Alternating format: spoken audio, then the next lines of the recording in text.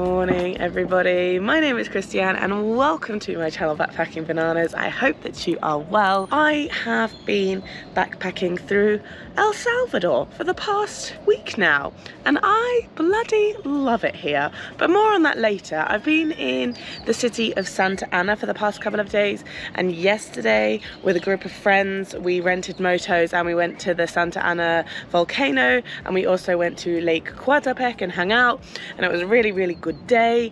I'm still in Santa Ana in this vlog. I'm still in the same hostel which is called Hostel La Villa Campanario. It's actually super super beautiful. It's super super cheap. It's definitely not the most luxurious of hostels but it's a good vibe. I actually really like it here, especially the bar that does $1 shots for happy hour. It's incredible. Anyway, in today's vlog, we are gonna go on another adventure on the scooters. We're gonna be doing the Ruta de las Flores, which is a very famous driving route that you can do in El Salvador that takes you through a few different several towns where there is supposed to be loads of wildflowers along this route. There's also like a lot of coffee plantations. That's kind of what it's famous for. And there's also some waterfalls and hot springs along the way as well this sounds like it's gonna be a friggin' great day. Something that's just like completely up my street especially driving on the scooters as well. So it's only $15 a day to rent a scooter here. Uh, we're literally just renting them from the guy who owns this hostel and apparently he's like the only guy in town that does that that like rents out scooters. Don't know how accurate that statement is but I'm going to be sharing with Beck and so $7.50 each for the rental of the scooter for the day is pretty pretty good now last night we as a, we as a group the group who went to the volcano yesterday we went to Walmart last night and we bought supplies for dinner and we've also bought supplies for breakfast this morning so I believe that's what's happening right now so let's go and see what's being made up this morning Morning. Oh, Becky checking the oats. Yeah. Absolutely. Bulk oats. What is it? Bulk. Bulk oats. oats. Right, because there's lots of us. Dominic's on the chopping of the apples. He Always hustling. he literally woke up 30 seconds ago. Straight in. Straight in. We in. gotta have some coffee. Oh, lovely. Thank you to our chefs. I was on coffee duty. Look at this. Whole lot of sludge. so we're just having a little bike check before we go. Yeah, I don't know why they, they throw a little like Checking tires, oil, all of those things because we're driving quite a lot today. And our first stop, well, our first stop's going to be the gas station, but after that, we are heading to the start point of our Ruta de las Flores today, which is going to be in Sonsonate, which is about one hour drive on the scooters from here in Santa Ana.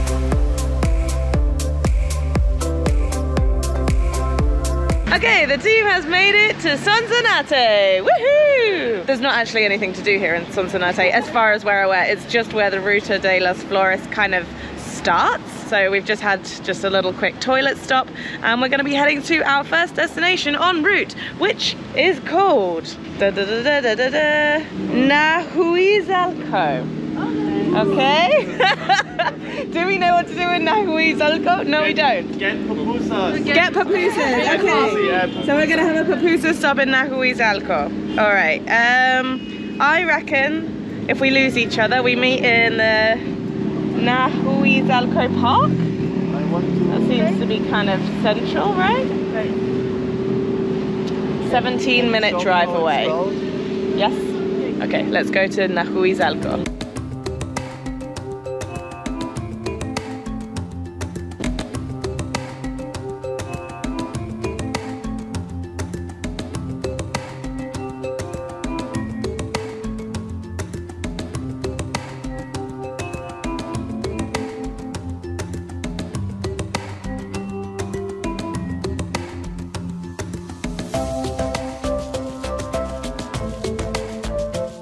Like local herbs in a pupusa. I have no idea. So the town that we're in. Empezamos con este y luego Nah. vamos a ver.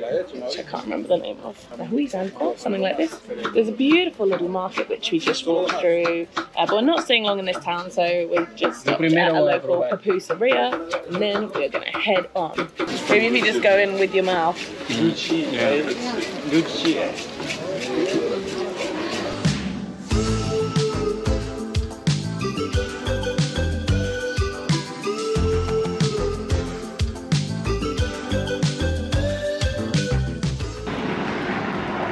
So this is the first Mirador point. It's just before the town of Salcoatitan. I wonder if by the end of the day I'll remember any of these names, but I don't think they will because they're all quite long and complicated. Beautiful. So apparently there's three iconic viewpoints on the Ruta de las Flores, and this is the first one.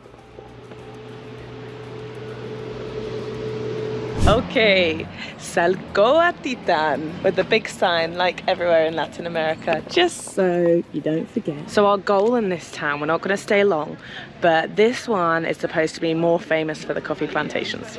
So I read online somewhere. So I've set the goal for the group is to find Coffee. a really nice coffee shop and we're going to have a nice coffee. We've just got the local recommendation. Oh, fantastic. Do we? Yeah. Great. Well, that was easy. Wait a minute. Is this where we've been recommended?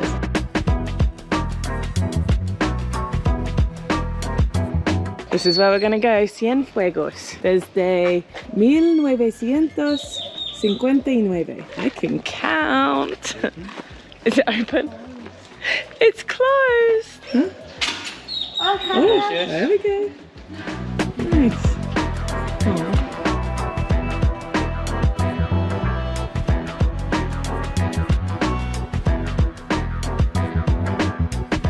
All right, back on the bikes. We're leaving Selkoyetatan, whatever, now, and we're off to Waiwa.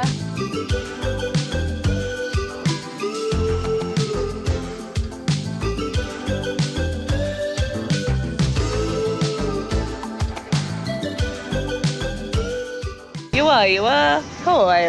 I don't know how to say it. Uh, we've arrived in Hawaii and slight spanner in the works. The waterfalls, the main waterfalls here, Los Churros, Los Chorros, sorry, not Los Churros, but they would be right, really nice right now, um, are closed on a Wednesday of all days, and it's a Wednesday today. But we found a guy who was like, the main entrance is closed. However, I can take you around a special way um, and we can go to the waterfalls today. For $3 each per person, which doesn't seem like such a bad deal. So we're gonna take him up on that. So we've just gonna figure out now how we can get all of us with our motor taxis and this guide who doesn't seem to have his own transport vehicle. Nothing, nothing's organised here. Um, and see if we can get to the waterfalls this way.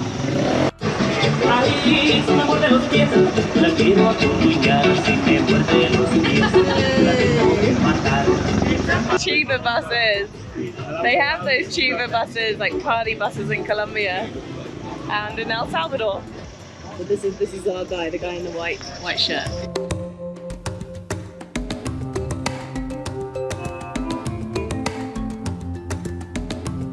¿Cuánto lejos es nuestra camina? Eh, pienso 20 a 30 minutos. Okay. Ok, Vamos. You ready everyone? ¿Y cómo te llamas? Eh, soy Elmer Hernández. Herme, Elmer Hernández. Hermer Hernández. Sí, soy- Mucho gusto. Soy Christy. Cristina. Sí. I'm excited to go to this waterfall, which no one's going to be in today. Plantaciones de café. Ah, sí. Ajá, la, la cosecha es en noviembre, diciembre y termina hoy en enero. Uh huh. This is our secret route. Love it.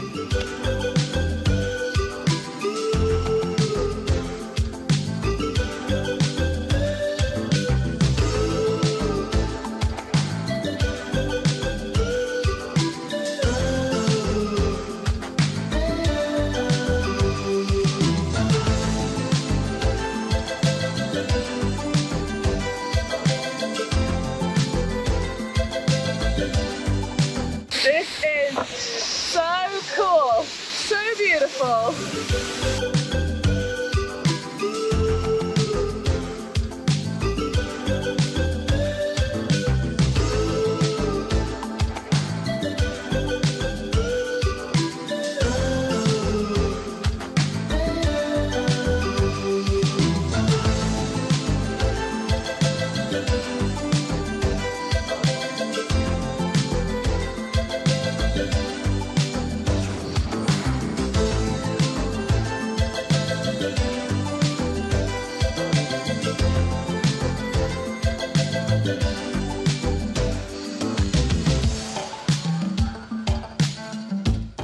Okay, we're walking back now Those waterfalls were amazing. I love them so much.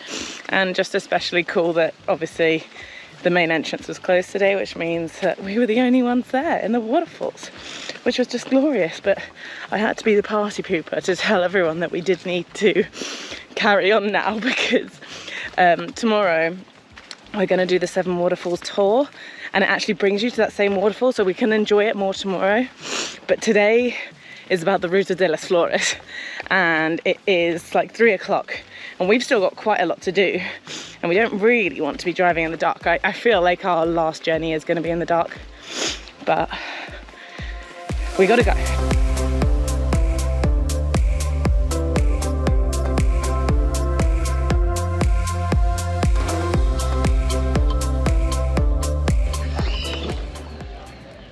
It's really hard to show you uh, the artwork on the floor, but we have arrived in the town of Apaneca, number four of the five towns along the Ruta de las Flores.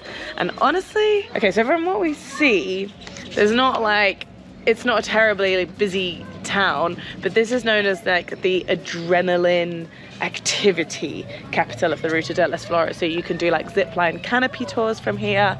You can also hike up the the hill. I don't know if it's a mountain or a hill that's just up here in the distance. There's like three crosses on the top. I know you can do a hike there. And there's also just like some really nice street art on the walls. But honestly, we're not spending long here at all. It's just a quick whistle stop because we've still got quite a long way to go before we get back to Santa Ana. And time's pressing on. It's 3.30. We haven't had the best time management today, but we've tried our best.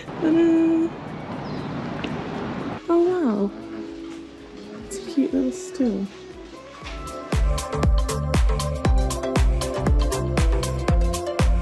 Okay, we've just had a little coffee and a cake. Well, I just had a coffee in Sayas and Kekes. We're still in uh. Uh, and we've had a change of plan because basically we kind of realised we really don't have time for the hot springs. So we're just going to head to Ataco, which is going to be the final destination on the Ruta de las Flores, and then we're going to head back to Santa Ana. And then all of our other plans we're going to do um, on another day. But I think we're all in agreement of this. We're all happy with this plan. so let's go to Ataco.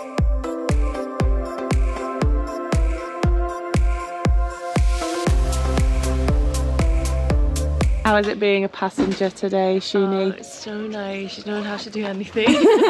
Just go along with the ride. and we have made it to our final little town on the Ruta de las Flores. Uh, it's a town called Ataco. And immediately, first impressions, this town is probably one of the busiest and most touristy that we've been to, but it's absolutely beautiful. Just cobbled streets everywhere, uh, loads of little market stalls. Really cute.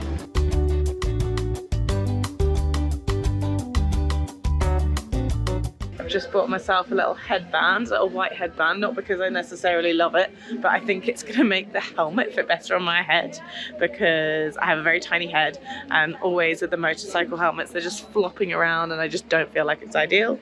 So yeah, hopefully this will help. I just don't suit headbands. Like I just don't think that this is a look that suits me. Atole? What is an atole? I don't really know. It's like a sweet hot drink. Oh. Thick. Oh, I have had this in Mexico. Yeah, cheese in there. So it's like a corn thing, cheese in the middle, and it's cooked within a banana leaf. It's pretty cool. Actually, so it's like corn, corn batter with cheese on the inside, like cooked in a banana leaf. Oh my god, the headband is making me cringe, but it's keeping the hair off the face at least. Um, right, so we've just got this, and I've got them for it with chicharron y queso. Beck said it tastes a bit sweet. Oh yeah. Oh, it tastes like a like a sweet crepe. Oh. Anyway, this was 175. Pretty good. And this is the center of Ataco. As you can see, big sign as usual. And some reindeer. It is gone Christmas, by the way. Oh, Dominic's in a tree. Literally like an absolute monkey. Okay, I think it's time to leave Ataco now. We've got about an hour left of sunlight and it's going to take us just over an hour to get back. So hopefully just the final part of the journey will be in the dark. But absolute success. I really like Ataco. I might go as far to say that it's been my favourite town of all the towns we visited today. Not looking forward to this journey home. It's going to be chilly, but I'm already wearing my fleece. The thing is, it's very hot in El Salvador. It's like 30 degrees in the daytime, but when you're going like up the hills and if the sun goes in and you're going kind of fast on the scooter really gets quite chilly guess what it's happy hour Is it? I Yeah. just looked at the time and I thought, isn't it five to six? no it's six Is it six till seven. seven? yeah Oh, hiya Hello, Christine. hello Backpacking bananas. made it here for a happy hour. I literally the first thing I said when I walked through um, the door was, oh, "It's time for happy hour." I'm just on the rooftop of the hostel. Look how beautiful.